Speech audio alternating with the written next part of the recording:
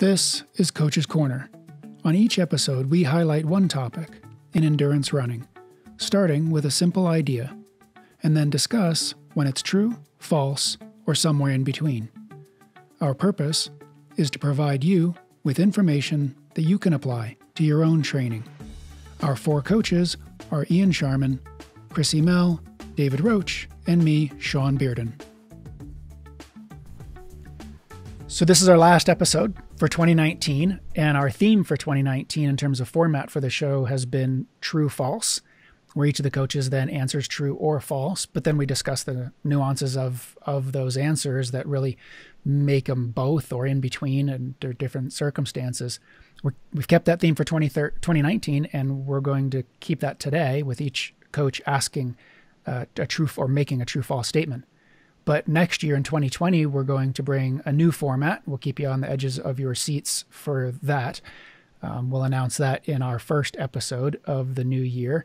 Hope everybody has a wonderful holiday. But we will start today with our final true falses and begin with a true false statement from David. Hey everyone. Um, I love that we're doing a new format this is probably a reference for the millennials in the audience, but it's like when Fortnite goes dark and then comes up with a whole new world. So that's going to be us next year. So my true false for the for the coaches is training for a 200 mile or similar race is fundamentally different than training for other ultras. Um, so let's start with Ian. Um, that's a tough question. I would say it is not fundamentally different, but there are differences.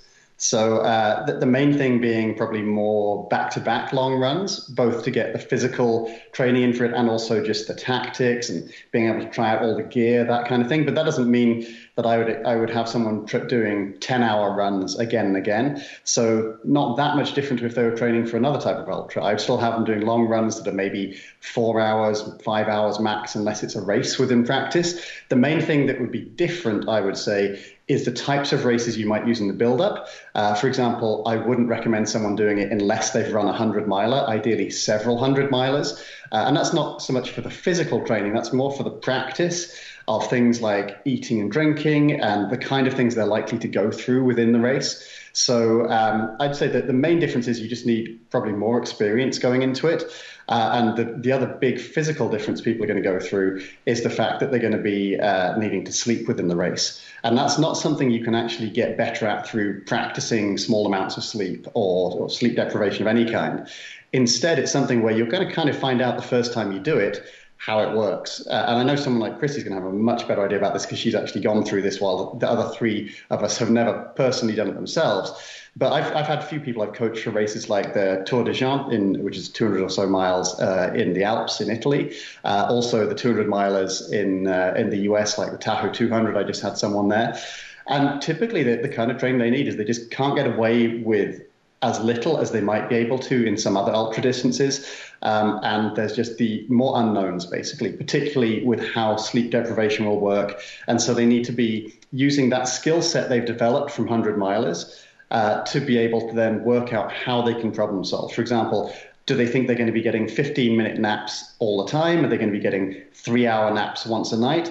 To some degree, they're not going to know until they get into it. And there's not a whole lot they can practice with that. So it's trying to just learn that entire skill set with enough experience that then they can apply it in this new and harder scenario. So I would say it's not a, a fundamentally different way to train. You just need a bit more experience, um, and uh, and there's definitely going to be some new things that people go through in a 200 miler. I actually have not gone 200 miler, Ian. I haven't run that. Almost, almost. Going around Tahoe is basically that. Tahoe was 165, and it was. I still almost. I would say I approached that very similarly to a 100 miler, even though it was a bit longer. Uh, my I was kind of on the cusp of true false, and mostly because there's going to be different aspects of training, but the I would say that they're not the same because of the mental training. I feel like there's a lot more strategy that comes in with 200 milers and not to say that there's not strategy and how you have to take care of yourself in any of the distances that were leading up to this point. When you get into the multi-day you said a key one i think uh, sleep deprivation. How do people manage multiple nights having four days to accomplish this distance? Does somebody push through and try and get it done in as short amount of time as possible or maximize the time and get sleep each night. There's a lot of different strategy that goes into it. So I feel like the mental preparation, the mental training is is very different than preparing for something less than 24 hours. I hate to admit it, but we can skip a night of sleep. We like we kind of have to do it in our world sometime. But skipping four nights of sleep is a whole different ball game. And I yeah, the mental training. And you you touched on a lot of great stuff with the physical training and the back to backs and like how you would use your race prep, all the lead up to that. I totally agree with the physical training of that. So my my focus in was the mental training for getting ready for something that much different. Yeah, Shawn, your turn. Yeah, my, I, and I say true to this as well that they are different. Um, I'll come around to that word fundamentally different because I think that that's important. But I do think we we do a disservice often to ultra runners when we when we present training of of ultra marathons the same as if all ultra distances are the same. You know, they're not. Um, and a 200 mile event is very different from one that's 50% or 25 or 15% of the distance. All of those percentages will still work out to be ultra marathons. Um, and, and in the same way, we can't define a race or the, the type of training needed simply by the distance itself, right? So the, the Moab 240 endurance run is is certainly a challenging event, but it's set in Utah, it's in October, and it's less than 30,000 feet of vertical gain overall. It's completely different from what Ian mentioned, the 205 mile Tour de Géants in September in the Italian Alps, nearly 90,000 feet of vertical gain, and nearly 30 about 31 miles between major uh, aid station bases. So it, it's really not the distance that makes training for one race fundamentally different from another, but rather the, like the capacities, the abilities required to be successful in the event. So if we take somewhat similar races that differ mostly in just the distance, like say the Zion 100 and the Moab 240, then yeah, I think the difference in distance does make training for those events different, but perhaps not fundamentally different um, which was in the, in the statement. So I, I, think both require much more stamina than a 50k and a 50 mile event on the same terrain, and both require the the ability to deal with the psychology, as Krissy was mentioning, of nighttime, of extreme fatigue, physical and mental. But they really differ from each other a lot. In for me, it'd be the slightly greater emphasis early in the training build up to muscular endurance for the 100 mile um, and larger interval loads as the race race comes on um, then training for the for something like a 200 or the Moab 240 in the same terrain. Where for me, speed walking and more double days, two in one day workouts would be in the plan. Um, yeah, so that's so cool. Like, so I think one thing we're seeing a lot is that a lot of people are doing these for the first time, and they're going in pretty cold, you know, because there's not that much research in this area, and there's not like anything settled about how to do it. Um, and so, like, if someone, let's say, they're doing the Moab 240 is their first, well, like one of these types of races, um, and they have it next year, what would you say to them is like, let's say, like the one most important thing, or, or something for them to really think about if they've, let's say, completed a, you know, 100k or a 100 mile, or and that's it. Like they're just going into this and trying to see what they can do. Like, what would you tell them they should prepare for? And let's start the same way. So, Ian. I, I would say, like Krissy pointed out, it's going to be much more about the mental side. Um, you can get as fit as possible. You can be Olympic levels of fitness, but if you've not got the mental side there, you're you're not going to be able to force yourself through feeling tired, feeling sore, and just being out there for that much longer. I mean, think about even uh, a single day ultra where you might be suffering and you've got six hours left or 10 hours left or something. In this, you might have three days left. And just the enormity of that is huge. So I would say a lot of it is about just preparing yourself mentally for what you're really going to go through and just being uh, very uh, realistic about how much diff- more difficult that might be and how important it'll be to have a, a really strong why. So if that, you don't, you go. Oh, is that mental work that you're talking about done on the trails or off primarily? Like, are you saying like think about these things off and really get that down, or is it more like something that you want people doing during the running?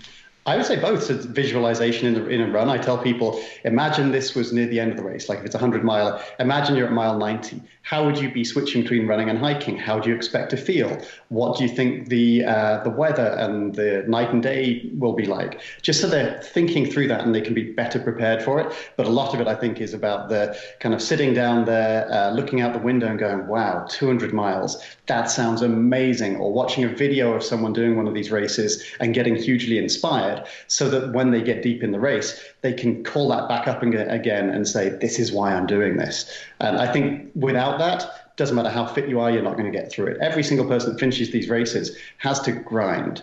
And I think in a lot of other ultra distances, uh, and particularly below 100 miles, grinding isn't necessarily part of the race. It usually is, but it isn't necessarily, or it might be for a much shorter time. In this, you've basically got days of grinding, where by that I mean you're just doing a lot of walking, everything already hurts and you're just kind of wanting it to be over. So you've got to have a, a, very strong reason behind why you keep moving forward. That's amazing. Krissy, what are you thinking? When you were saying the mental prep side again, um, and you're talking about like sitting out the window and looking versus, and then I'm totally 100% when you're doing training runs and maybe you don't feel so great, like using that as a time to like, okay, how do I want to feel at mile I 80 of 100? So what am I going to do to get through this? Or if I'm feeling great and but I've got a little, you know, I've got the miles built up in my legs, putting myself in that place in the race. The one thing about staring at the window, I'm much more of a spreadsheet girl.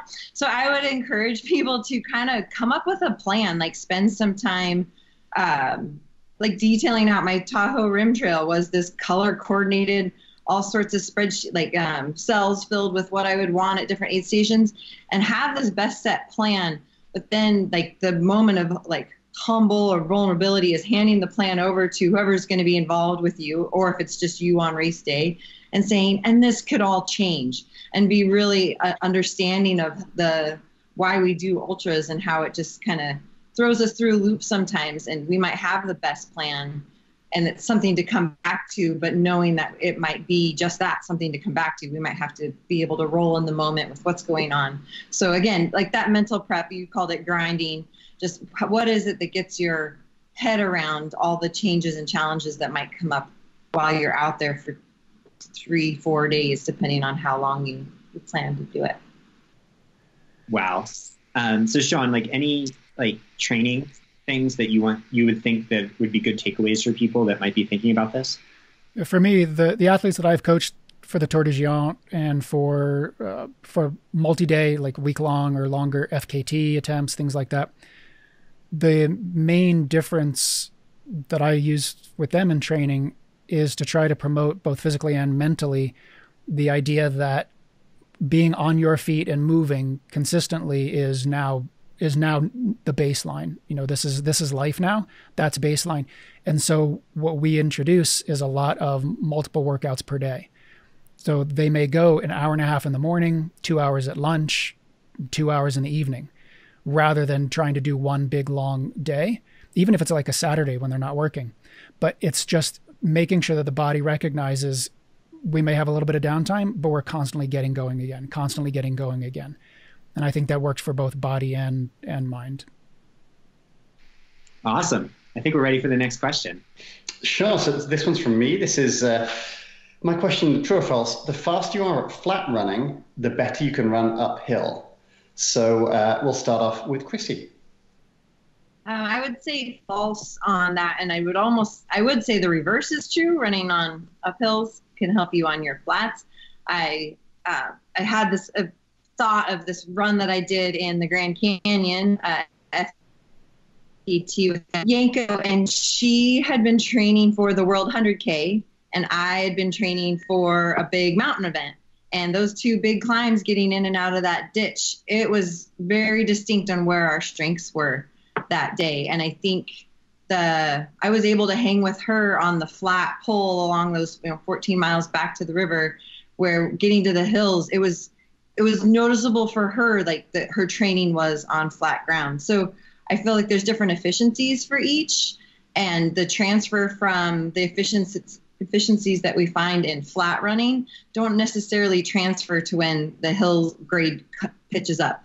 Granted, like everything, there's different um, variations. So, what is the hill grade? You know, are we talking mountain climbing where we're hands on knees trying to power up something, or is it a runnable grade that, you know, what I'm looking at out my driveway here? So, it, it could transfer a little bit better, but I would say, you know, arguably the the flat fast versus the steep mountain fast flat running would not transfer as well to the hills as vice versa. But I'm really curious to hear what everybody else has to say about it. I didn't Me want to too. go. That's why I asked. so, uh, Shawn. Yeah, I, I am going to echo a little bit of what Krissy said there. Um, I think from a popul in a population standpoint, the, answer is true.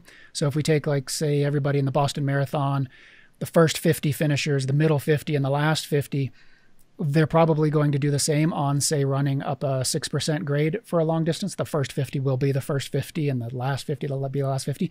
But on an individual basis, and really I think this is where this this is going, this statement, uh, on an individual basis, I'm going to say false. Um, as uphill incline increases, muscles like our gluteals are engaged much more, which are also engaged in faster running we and we say, as Krissy said, that that hill running is speed training in disguise, and and that's one of the reasons. It, so the opposite idea that speed training is hill running in disguise may have some merit, but there are important differences in the physiology of the thing, in, in the elastic um, and the metabolic contributions to running on level versus incline that really aren't equivalent. So the energy that goes into this is from some of the research that's been done. The energy that goes into braking into horizontal propulsion declines or goes down as the grade increases. And the cost of lifting the body vertically increases as the grade increases. So we're shifting where the requirements are. So the cost of running uphill can't be calculated for any specific person based on their cost of running on level ground. The the two diverge um, and so generally being faster on flat running will mean that you are better at running on low and moderate inclines. I think that's true, the Boston Marathon runners example, but I think that the crossover benefit diminishes as the incline increases. And so for a trained endurance runner, the relatively small gains of, of achievable flat running speed um, probably don't contribute appreciably to to uphill performance gains. Okay, and what about you, David? So I'm going to go the exact opposite answer and say a very strong true on this one, um, and which is rare for me. I think I usually am like on board with everything else that. So I'll start with where Shawn finished about. So a lot of studies show that level ground running economy and uphill running economy correlate, and so that's like taken as a given makes sense. Those are generally shallower grades. That relationship obviously will start to um, become less strong around like you know, above 10%, 15%, that sort of thing. But basically, the idea is if you're good at level ground, you're good at uphills, and vice versa. Um, and what Shawn said about they have, meanwhile, they do have slightly different biomechanics. So the weird part of all this is that even though they involve slightly different biomechanics, there's pretty strong cross correlation. And the idea being, what the researchers, most of the ones that I read say, is that like basically, as long as you're running and you're not just like maybe in Florida or running on a treadmill at 0% all the time, it doesn't take much to get the adaptations to cross over from uphill and downhill. Um, so with that in mind, what I look at is okay, well, clearly, if you get a little better at hills, you're probably going to get a little faster as long as you can um, handle the extra speed of it. And if you get a little bit better at flats, you're probably going to get a little better at uphills because as long as you can handle the biomechanical loading of it. Um, the question is, what happens long term? And so my guess, and this is obviously just a theory, is that we do have evidence of people improving their level ground running economy long term with a focus on that. That's basically every single Olympic pro athlete you've ever seen that progresses past the age of 22. Like their VO2 max isn't going up anymore. What they're improving is their running economy um, on level ground. And most likely, based on the research, their uphill running economy would improve too. Um, the question is if the reverse could happen.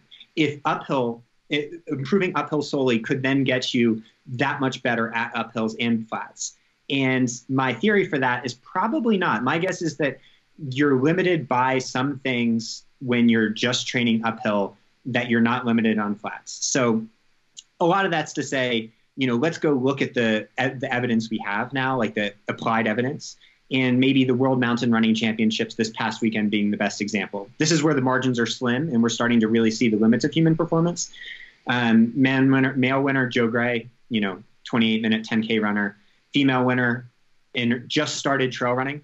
Almost, you know, very little experience on uphills was Grayson Murphy, an absolute uh, beast of a runner on flats, um, who came and it applied immediately to uphills. And my guess is the reverse wouldn't hold true. So this is a, all a long-winded way of saying that um, you know both are important, but if you improve your speed, um, you're almost certainly going to become a better climber, and that's probably the way to optimize long-term ability um, at that thing, in my opinion.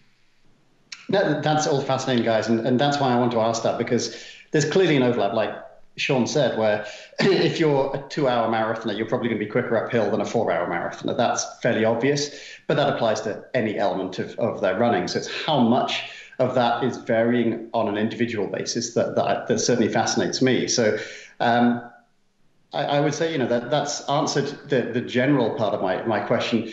The other thing would be how how should people focus on that more if they're um, if they're wanting to improve one or the other, should they bias it more? Obviously, the specificity that comes into it, but how much should they be thinking about how they may differ from someone who's equally as fast as them on how much they do? I mean, do you think there's a lot of individual variation there? Uh, so let's go back to, to just kind of round it off with uh, starting with Krissy again. Hey, David, can you go first on this one? Well, let's go to, to Shawn while, while Krissy's uh, dealing with dog things. Sure. Um, so, you know, I come back to this this recognition in, in the data that uh, at least from for elite endurance mountain runners, the uphill cost of running is not associated with level cost of running, and so just as you said, and I and I agree with David on a population level, that generally the people with better running economy on flats have generally better running economy on the uphills. But when we dig into the data and you look at individuals, the individual's cost of running on level ground and then that, that same person's cost of running on an incline, some people have this relatively similar values. Some people have much very different values.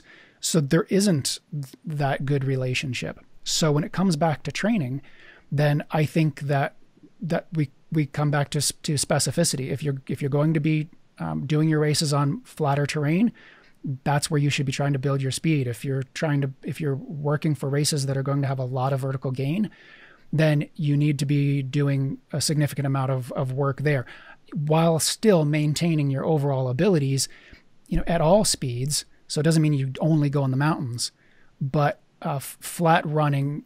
I don't, I don't know of any evidence that says that being able to increase your flat running speed a little bit is going to translate into better uphill running. I suppose part of what I was getting at there as well is uh, let's say you have two people like Joe Gray, two 28 minute 10K runners. How do we know which one's going to be better at uphill running? Uh, if they're doing the same training, is there some, like, they have a bigger butt or, you know, what, what, what thing might it be? I don't know. Look at their butt. That would be a great study. um, I, well, I think you, you, ha- you, you have to compare apples to apples and make sure that you're comparing them on uphill so that their their stamina for uphill um, in an uphill race, for example, their ability is an uphill race. So you, you can't compare marathon times between two people um, that are very similar otherwise, and from that predict who, who's going to do better in an uphill race. So um, I think we have a real world lab here, which are actual results, you know, um, and let's say the Mount Washington Road Race being possibly the maybe the the best example of pure uphill running since that's pretty steep. I think i'm not sure the exact grade but i think it's you know 10 to 14 percent or something for seven miles. Um, and throughout history the people that perform best at it are the ones that are fastest even within individual individuals so when individuals are at their fastest they perform their best there a good example being maybe Sage Canaday who came and absolutely took that race by storm right off of his fastest training um, and since has not, you know, he's still crushing it because he's one of the best runners ever, but you know, is not quite at that thing. And then we'll see that across a bunch of different people that, you know, they'll perform best. Granted, that's on a road, but it is a pure climbing test. Um, so I think it probably, I think what we're probably getting at is that there's a hypervariance among individuals and how each person responds. So my guess is that athletes that are over 40 or 35 might respond better to the specificity element than athletes that can truly optimize their speed. So let's say two women, let's say one woman can either be a 37 minute 10K runner that is um, just focuses a lot on hills. And that same woman could be a 34 30 10K runner, a 35 minute 10K runner that mostly trains on flats but does a couple trail runs. My guess is that that, that person, the faster person, would win the uphill races. But obviously, that's a, a straw man that can't be refuted. So um, it's not very helpful. But that's that's my my general approach with it. But I think again, most likely, if you're listening to this, you know, have a general feel. Like when you were your fastest, were you your best climber? And what was your training focus at that point? Um, so I would say dial in a little bit on that. But yeah, I'd love to hear what Krissy has to say. Thank you for that. Sorry about the interruption with my PD pup going off. Um, I would just echo the word specificity. That's what I came back to Shawn talking about, and I feel like that's the the main one that I focus in on with people. And I don't necessarily, I'm not um, like the total elite, like top level. I'm I'm thinking of it more of like a broad range of everybody. Like what's the like the general goal? Here? So if it's an event that has a lot of climbing, should get into that. Uh, the race that I put on, the Chuckanut, that has both and that's actually been a really fun event to watch like who's gonna who's gonna rock it here the you know the 218 marathoner or the guy that won western states last year like watching those two strengths come out um, and how the specificity plays out for either one so i yeah i just uh, not really adding more other than just um, if you're getting into what you're doing for training you're trying to maximize what you can get out of it what is your goal and train for that like if I guess the one other thing I would throw in there is like what you have available to you. So if somebody lives in the flatlands and they want to train for Hardrock, then yeah, you want to work on your speed and get as fit as possible on the train that you have available to you. And then if you can get in some specificity training, like heading out to the Hardrock course and working on your climbing or something. So I guess there is that piece of what, what do you have available to you and just do the best you can with what you've got and train for it. Anyways, yeah. Thank you, everyone. I, I, suppose I would add one thing which is slightly off from that, which is just that uh, the faster you're at flat running, you are not quicker at, at, hiking uphill. So that is different muscles that that definitely has. You have to specifically train for that. So if you have a well, you're a little bit quicker, admittedly, hiking uphill, but it doesn't have as much of a crossover as running uphill. So it, the example of a flat runner, uh, someone who lives somewhere flat, training for Hardrock, you're going to have to do a lot of hiking on a treadmill, and doing a lot of flat speed work is not going to translate that much to hiking up 25% gradients the whole time. But anyway, now thank you, everyone. So, um, Krissy, your true false. I'm steering away. I guess it still is relevant to training, but I I get this all the time, and even in myself when things come up, is my true false would be a runner should run through a tweak, but not an injury. And I had all this all sorts of wording around it, but just to put it as a true false, a runner should run through a tweak, but not an injury. So Shawn, you go first. Okay. Yeah, true. True. I, I think it's a mistake to think of tweaks as infant injuries. That a tweak is a tweak, an injury is an injury. And it is true that sometimes tweaks are actually minor injuries or something that would lead to a bigger injury, but that's not always the case. And I think we often think of little tweaks that way. Having aches, pains, little twists, little strains, all of those things are are part of what comes along with owning a body, with being an organism. And we intentionally push that body, right, in familiar ways, but to unfamiliar magnitudes when we're training for ultras. So if a tweak increases in discomfort during a run, if it is uncomfortable when you're not stressing it, like when you're lying around, or if it wakes you up at night, or if it alters your gait, or if it ultimately produces any signs and symptoms of injury like heat and redness and swelling, then I think a run should be discontinued or, or you take a rest day or you don't begin it. But otherwise, um, tweaks are perfectly fine to continue moving through. Well, then David's up. Um, I mostly agree, but I'm going to say false just because I think that a lot of what we're getting into here are um, the perils of self-evaluation for motivated personalities, um, and that one of the things that we might be measuring when we say, okay, well, you know, I know I personally can run through tweaks, like or or sort whatever you want to call it. I can run through them, and I've almost never had layoff. I think what we're probably measuring there is not like me being smart or whatever. We're probably just measuring my underlying genetics and background. Um, and meanwhile, other athletes, like, you know, every time they get a tweak of any type, like based on the like risk reward of it, it's always worth just taking a few days off. Um, given what they've gone experienced and probably um, some of what they've done. Like my wife is working for this company right now um, called AxGen that does athletic injury testing, where essentially they give you a feel for your like how your genetics predict certain types of injury risk. It's super, um, you know, they're still learning a lot, but it is fascinating that there are, and it was validated at Western States this year, at least for bone injuries. It's fascinating. I mean, there, it's a strong genetic component, independent of background and behavior. Um, and so yeah, my guess is the my my I say false just because I want people to really focus on what your background is. If you never get injured, yeah, you can run through tweaks and sorenesses and things. If you do have that experience in your past, three days is always fine. Like you're all the science says you don't lose any fitness in that time. Um, and taking three days off 10, 10 times a year, that just adds in a little bit of extra recovery. So um, that's my slight caveat to agreeing with everything that Shawn said.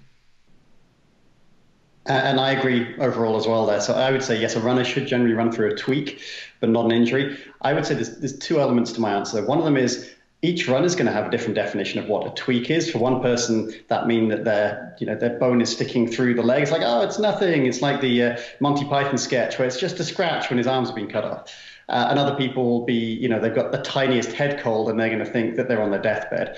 So a lot of it comes down to just knowing the runner of, of what would they think of as a valid excuse? Are they a hyper motivated person who's going to try and run through anything? Are they someone who's always looking for a reason to not run? And if it's, you know, below 60 degrees, it's too cold for them, that kind of thing. So I would say that the way I would think of a tweak and the way that I treat it with uh, the high level concept and with my own running as well is that if it's something like Shawn said that uh, you don't have a visible injury there, there's no uh, swollen ankle, there's no uh, redness or anything like that, and it's the kind of thing that you feel like you can run on it, then there's no harm in trying to run.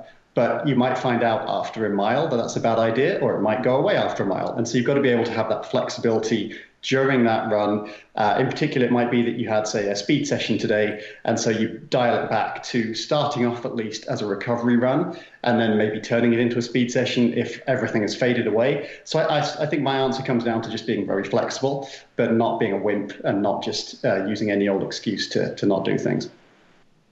Yeah, that was the follow up question I was going to say. I think you kind of hit on it, Ian, was like, how do you know? Like, that's the thing with that question is what's the definition of tweak?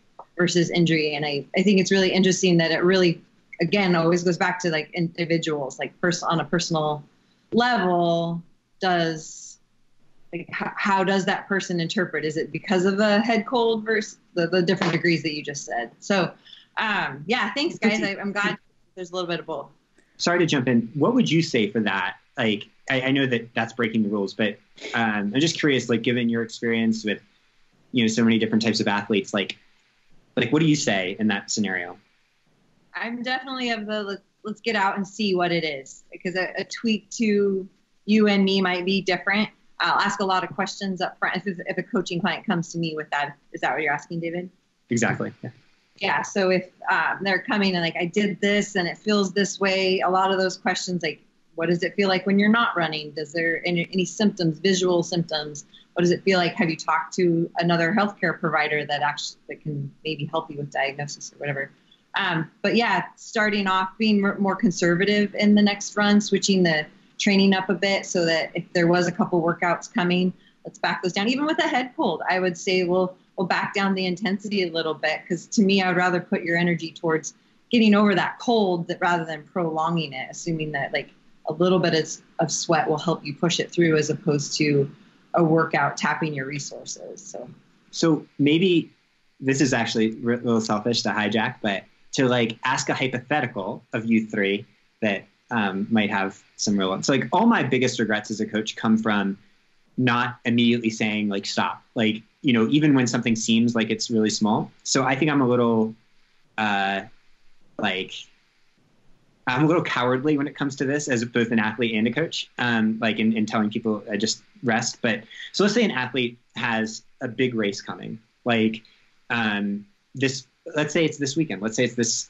this saturday and during the taper they had a onset of rather like rather serious pain in like an area that could be um, muscle, it could be bone, whatever. You know, like it's one of the. They go to a, a doctor. You don't know the quality of that person um, or the how much their person that's not that familiar with athletes that says, "Oh, it's probably uh, soft tissue, but we can't give you an MRI right now." And so they're in this position where it's like, okay, this is what I've been going for. Do I and I could run through it probably. You know, it's a tough person. Like, what do you say in that scenario? Um, I mean, this might just be one of those things. You have to know the person, you have to know the doctor, you have like blah blah blah. But I wonder if there's anything that you guys think of in particular in your coaching experience. So maybe um, since Krissy asked the question, like Krissy, do you have any feedback on that? You said you have to know the person. I my thought was is I just know for myself, and I always precursor this for the athlete is that you know what my goal for you is to have this be a part of your lifestyle and like the long term vision so does running through this one injury and this this one race goal that we had or whatever um, the, the hypothetical led up to this point like does that reach this overall goal and then also with them working on like well, what is your overall goal my overall goal is to have this as a long term life thing i will make cho- choices that might uh, take a risk in that moment to not achieve the, the short term goal to achieve that long term goal. And that might mean missing out on something really cool. And that could be all affecting out, you know, you can play the whole rollout game, but really honing in on what the the bigger picture of this whole running piece of life is. And to me, it's to be able to do it every day, almost every day. I need rest days. I know that. that's, such, that's, such, a good answer. Um, so, Shawn, do you have any feedback on that? Yeah. So if the race is imminent, then it's game time. And how well I know the athlete doesn't matter. How well they know themselves is all that matters. Um, so on top of what Krissy said about what does this mean to them and and and how important is it, um, it also is simply just to get them to have a conversation with themselves that's deep and open and honest, sort of in the vein of motivational interviewing, trying to find out why they're here, what what they want to get out of it.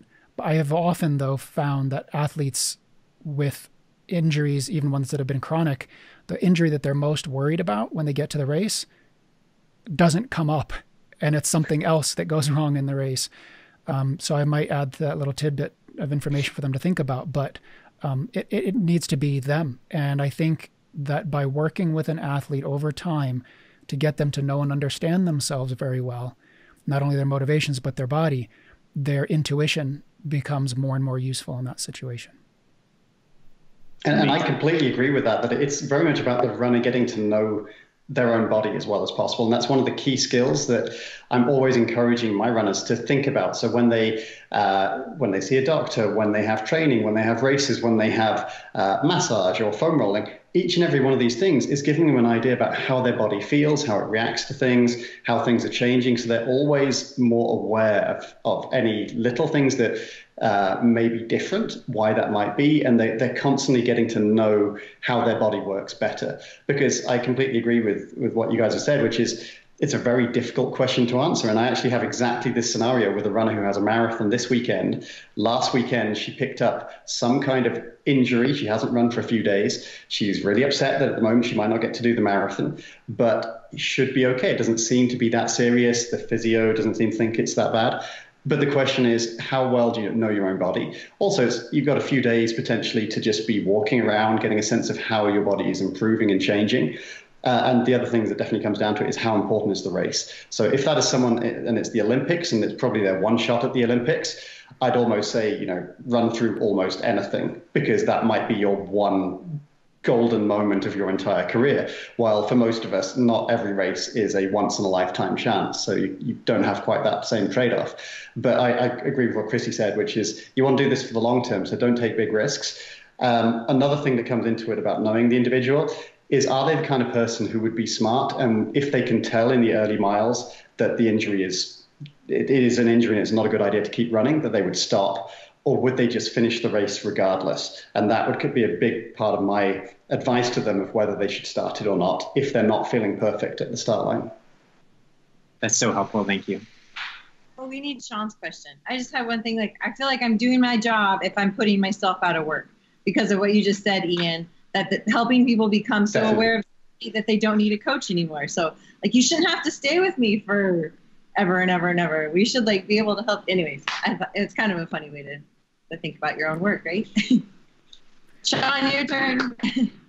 yeah, but you know what? In the future, we should come back to a topic that you've made me think of there, Krissy, which, which is about how how elite athletes sometimes will have you know uh, have a, the same coach even for their entire career, or certainly people at the very upper echelon who know themselves arguably better than anybody else possibly could. You know, they have coaches, and their relationship is different than typically we would have with our average athlete, but um,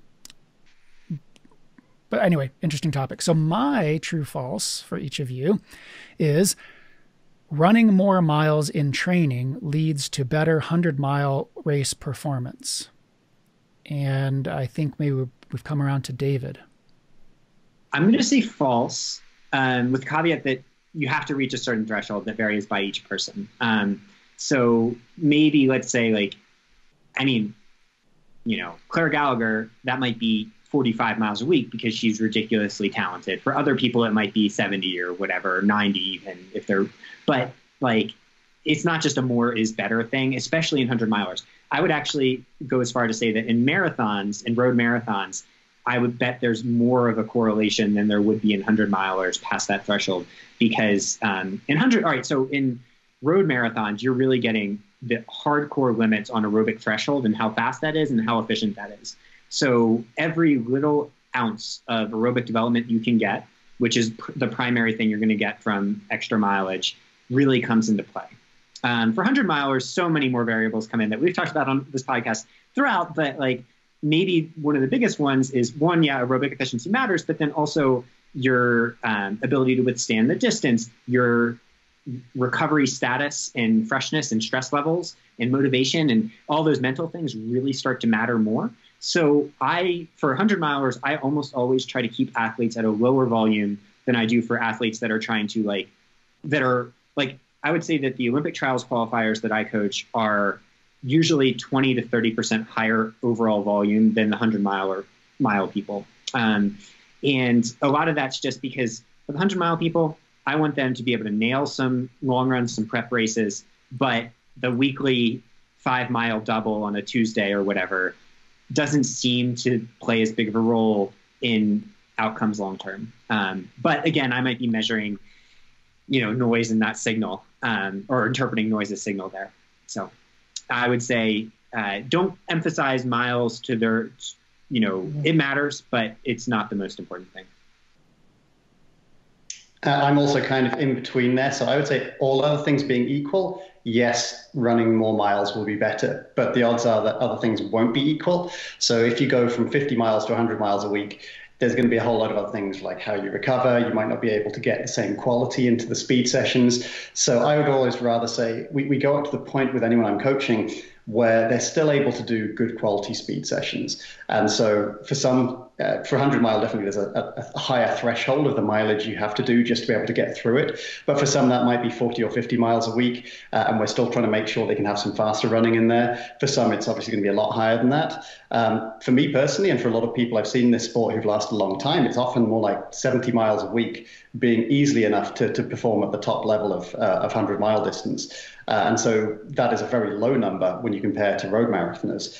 But also bear in mind that it's more about time than just distance. So if you're doing 70 miles a week and 20,000 feet of climbing, and a load of that's hiking, and that's actually 15 hours a week, that's very different to doing 120 miles a week at a six minute mile average or something, you know, that, for a top level marathoner. So uh, a lot of it more is about time than distance when you think about trails and mountains, and particularly 100 miles, um, and also because you'll have more hiking within the training for that to be uh, to be effective. I'd actually say um, a big part of it is in thinking of it in I kind of think of it in two types of mileage. So there's the running and the hiking mileage, uh, and just the longer the distance of the race, the more that skews towards hiking mileage. But you can add a lot of extra hiking, and it's easy on the body because it's more like active recovery. It's much less pounding. Um, so you could probably add on many more hours per week of training if most of that is hiking versus running. Uh, and so that side of it becomes more relevant, but it's still not about just getting the most you possibly can. It's about getting that balance right so that you can still, firstly, enjoy it overall, and secondly, um, not be getting injured and be keeping the quality in the speed sessions. Yeah. Um, I actually I wrote down true with the big caveat as long as your body is adapting because I, um, I I do feel like having that time on feet um, maybe like back to back days where you're training your body to get back out there again. Like you were saying, Shawn, like those multiple times when we were talking about the 200 mile training, those multiple times a day of what that does for your like psyche in terms of how are you ready for running 100 miles. But that big caveat is as long as your body's adapting. I know personally, I don't do well much over 70 miles a week. Like I start to get into breakdown mode. So I can manage a couple of those like big weeks like later in the training and one and then big recovery after. Uh, and I've seen that with other people. And then I've seen people that can just like take away big miles. So again, it comes back to the individual and what they're able to accommodate. Um, so overtraining is real. Your body needs to be adapting. And I, with the 100 mile thing, like getting in more miles, a lot of times that's over years. So it might not be in this like cram session of, I want to train for my first 100 miler. It's, what is your experience in the last three to five years leading up to this 100 miler and keeping those miles in mind as we think about how many more miles are we running to train for a 100 miler so maybe if you haven't run a 50k yet you can think of those those miles leading up to being part of that bigger um, 100 mile goal fantastic stuff I, i'm going to maybe follow up with a question if i can that maybe hopefully pulls in a, a bunch of what all of you have said and present a scenario that somebody is doing, let's say 60 miles a week. 60 miles a week, they're training for trail, you know, a trail race, trail 100 miler, maybe not huge mountain, but you know, runnable, but trails. And they are not breaking down. They're feeling okay. And they have the time to put in to do extra. How do they know how much more they should do, or even if they should do more at all? And getting to what Ian was talking about, time and distance, is there any idea or any thought that there, the benefit would be get more miles, so maybe do them like on road or flat, versus get more on trails, even if they're slower? Um, oh, this is me. I get first dibs. Um, yeah, I mean that's that's a great question. I guess I'm going to contradict myself a little bit. So I'll say that if this athlete I'll frame it as the trial of miles. Like if this athlete has never, um, in a concerted way, trained like like an elite athlete, you know, at, at the top level, adding as much aerobic volume as they possibly can in the context of their lives that is meaningful and happy and healthy, um, then doing it this time, it's the only way to see if you're a responder, and then that might be the key to your ultimate breakthrough. Um, you know, an example is this guy named um, amazing athlete named Ben Robinson, ran in college, um, but never really did that many miles. Um, was like 230 type marathon guy, which is very fast. But um, you know, this year like, he had time and I was just like, let's do the trial miles. And similar athlete, 60 miles a week, bumped it up to you know 85, 90, 100 with doubles, all that thing. Um, and you know, at CIM this coming like in a couple weeks, like he's he's going to be right on that you know 217 cusp or so. And it's pure and i mean his volume his intensity probably decreased a little bit. So i would say increasing volume is is an experiment that i think everyone every athlete that wants to explore their potential needs to do at some point but not to ignore the signals so um, it is not an end in and of itself it's just a means to get your body to turn on possibly some genetic switches possibly other things um, so i would say for that 60 mile per week person like start by adding some easy doubles, possibly some like um, maybe some overall volume. Don't add intensity. Um, see where that takes you. Pay attention to your body. Eat a ton, and um, go from there. So, I contain many contradictions apparently, but that's what I would say. So, Ian, what do you think? Uh, it's a tough one. I, I mean, I would say for that exact scenario, when you're trying to decide how much more do you do? And if so, which direction does that go? Uh, I would say doing a little bit more running and ideally making that running be a little bit more specific. So if it's a trail 100 miler, maybe trying to spend a little bit more time on the trails to get those extra miles, but still keeping in things like speed work and some of the flatter running. Um, I'd also say that on top of that, you could add in um, as much hiking as you have time for. So definitely, if that person's trying to take you to another level, a little bit more running is a good first step. Not too much of a risk if they go from you know 60 to 65 70 see how their body reacts to that. Um, and in addition to that maybe if they have loads of extra time bumping it up more with the hiking side of things. That's always the way i would bias it. For a 100 miler that would be different if it was a shorter race or a more runnable race. Um, but there's not too much risk in doing that. As long as it's 60 miles they seem to be coping with it well. They're not getting injuries popping up. They're not feeling tired half the time. Um, but i wouldn't say well you've got an extra 10 hours a week so add on an extra 50 miles because that's you know that, that's going to be fairly suicidal to do that but they could add on potentially quite a lot of that time doing hiking and it would be fairly low risk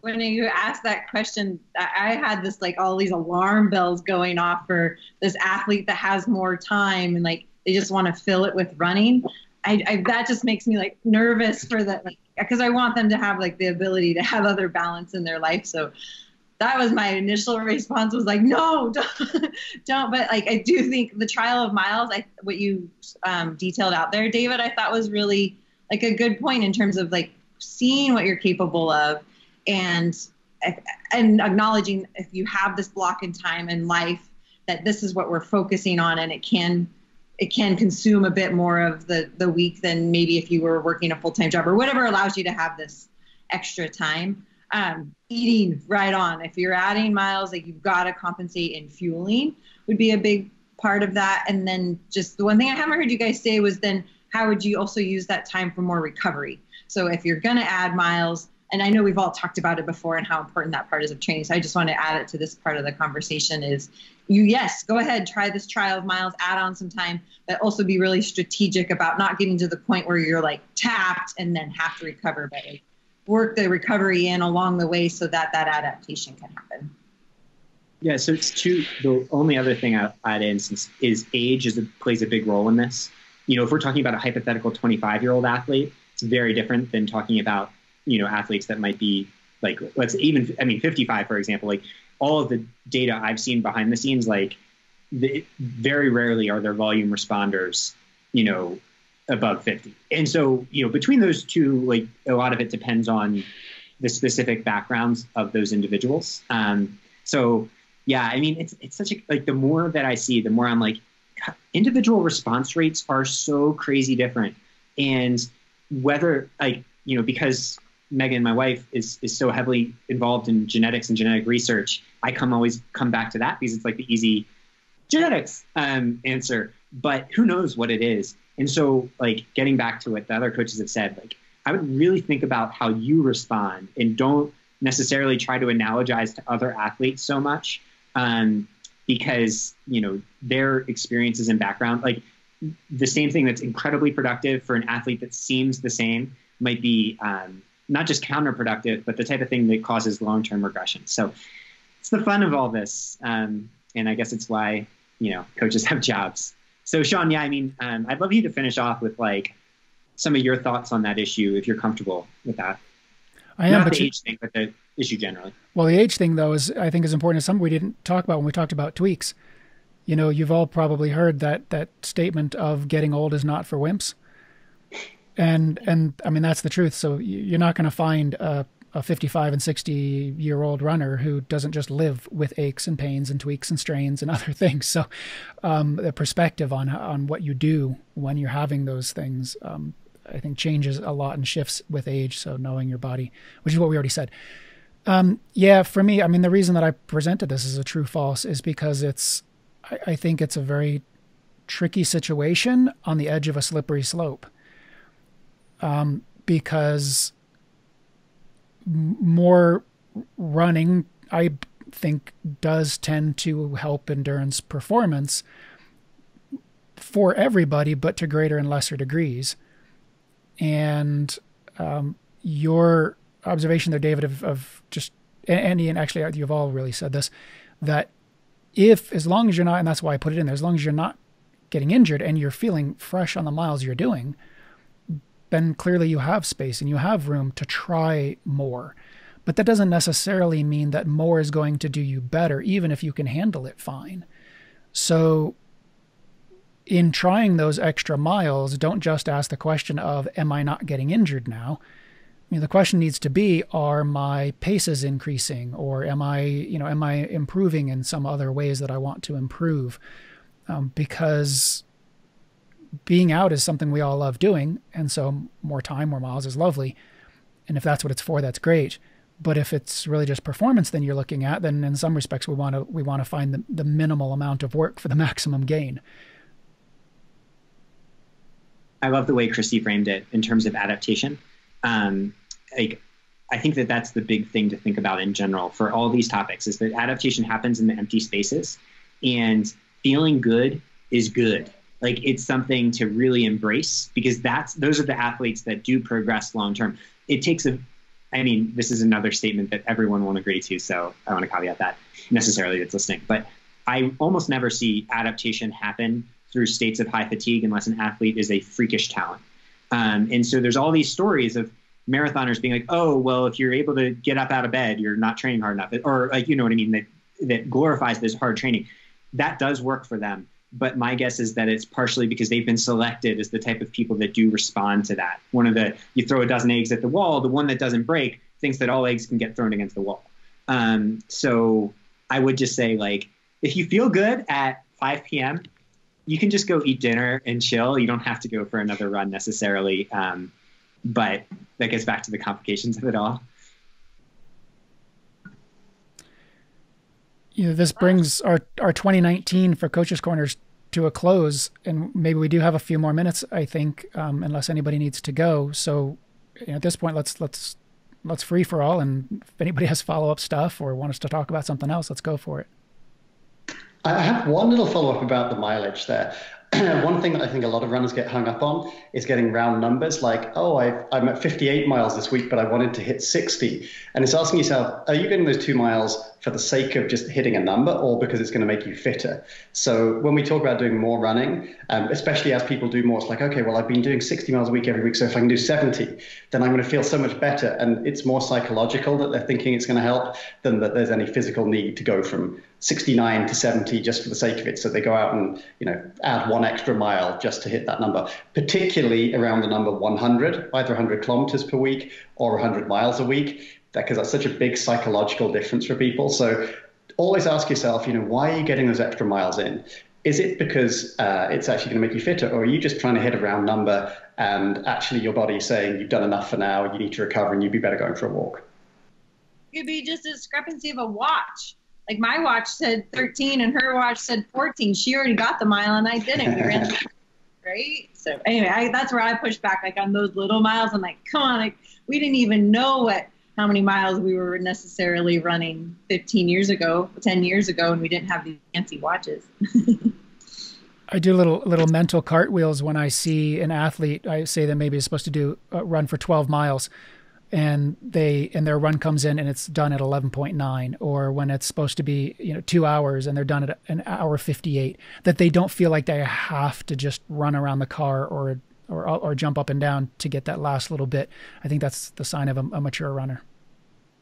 And I think we all sometimes don't do that. I have to admit, I've done like, I just go one more round the block just to make that the round number. That's true. um, well, this I would uh, try. I guess my wrap up was just this has been an awesome year to see our own evolution in the Coaches Corner podcast and like getting to meet with you guys monthly and a little bit of mushy factor there. But I just I really enjoy that we're doing this and we've got a, some new ideas and fun stuff going into 2020 and that mainly uh, we get to keep doing it. So it's cool that the there's an audience support and people are interested and we can keep going and evolving this part too. So thanks for making the time and making a commitment to it because it takes a little bit to get that habit going. I feel, feel like we've all prioritized it, which is feels great.